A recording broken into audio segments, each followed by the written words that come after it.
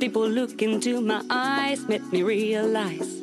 They said they saw in every corner of the world all the people just waiting for love.